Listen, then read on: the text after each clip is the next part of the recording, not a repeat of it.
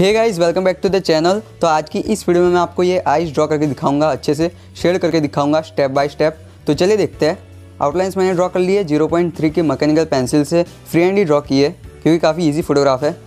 तो इसकी आइज़ मैं आपको शेड करके दिखाऊँगा अच्छे से स्टेप बाय स्टेप इस फोटोग्राफ का लिंक भी आपको डिस्क्रिप्शन में मिल जाएगा तो आप चेक कर लेना।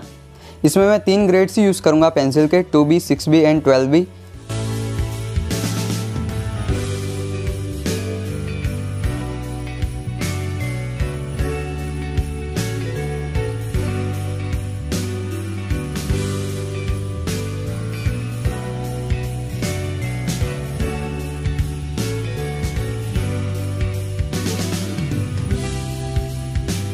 इसमें जो बीच में आई बॉल है, उसमें जो वाइट पार्ट होता है, उसके लिए मैं जगह छोड़ूँगा। उसमें मैं बिल्कुल भी इरेजर का यूज़ नहीं करूँगा, क्योंकि मैं ये बिगिनर्स के लिए बना रहा हूँ तो मैं कम से कम टूल्स का यूज़ करूँगा, जिससे बिगिनर्स आसानी से ड्रॉ कर सके।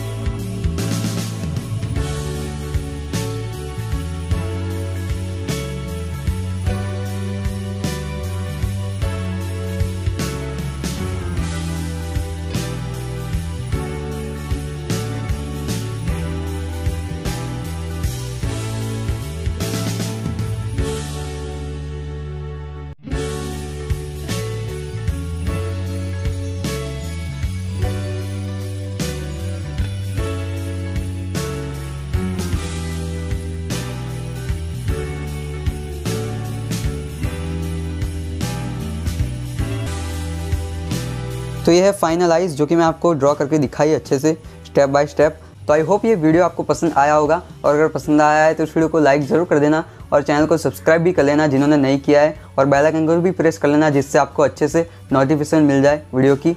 तो बस मिलते हैं अगले वीडियो में। Thank you so much